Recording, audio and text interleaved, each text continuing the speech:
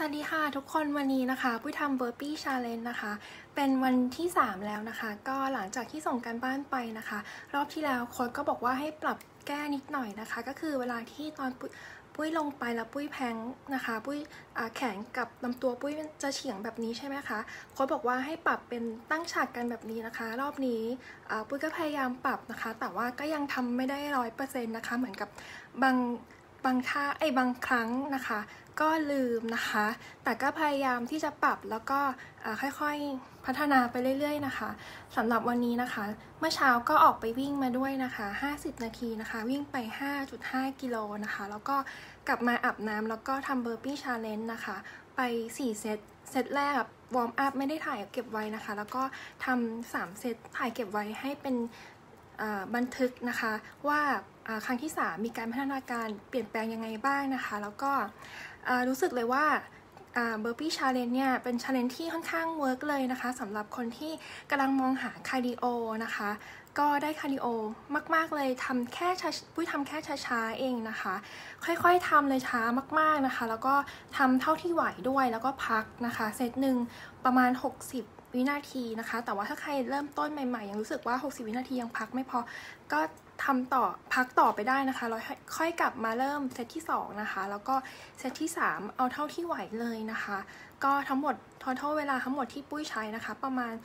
14 นาทีนะคะ ก็ได้ burn ค่อนข้างเยอะเหมือนกันนะคะ แล้วก็สิ่งที่ได้เพิ่มขึ้นมาจากการ burn ก็คือการได้ฝึกกล้ามเนื้อนะคะ ในส่วนของกล้ามเนื้อขานะคะ สะโพกนะคะ เพราะว่าตอนท่าลงอะค่ะมันเหมือน squat เนาะแล้วก็ตอนขึ้นด้วยแต่ว่าจะได้กล้ามเนื้อหน้าท้องด้วย เพราะว่ามันจะมีการ plank นิดนึงนะคะ ก่อนที่เราจะกระโดดกลับเข้ามาแล้วยกตัวขึ้นนะคะ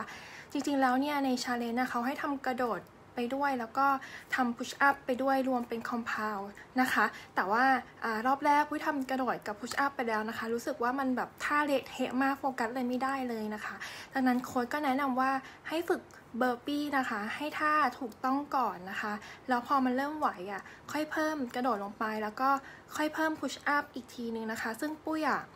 พุชอัพไม่ไหวจริงๆ เพราะปุ้ยไม่เคยฝึกกล้ามเนื้อแขนมาก่อนเลยนะคะ ก็เดี๋ยวปุ้ยจะ ไปฝึกพุชอัพแยกอีกทีนึงพอปุ้ยพุชอัพได้แล้วนะคะ ปุ้ยค่อยเอาท่ามาผสมรวมกันนะคะ ก็วันนี้เป็นวันที่ 3 แล้วค่ะ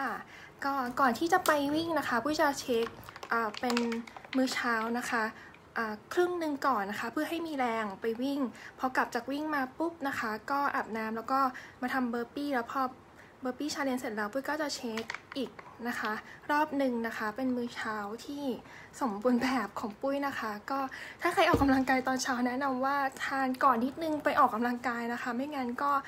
เออมันจะไม่ไหวนะคะ การทานนิดนึงก่อนไปออกกำลังกายเนี่ยมันช่วยทำให้เราอะมีความอึดแล้วก็มีแรงที่จะออกกำลังกายได้มากขึ้นนะคะ โอเคค่ะ วันนี้ฝากไว้แค่นี้นะคะ แล้วเดี๋ยวมาอัปเดต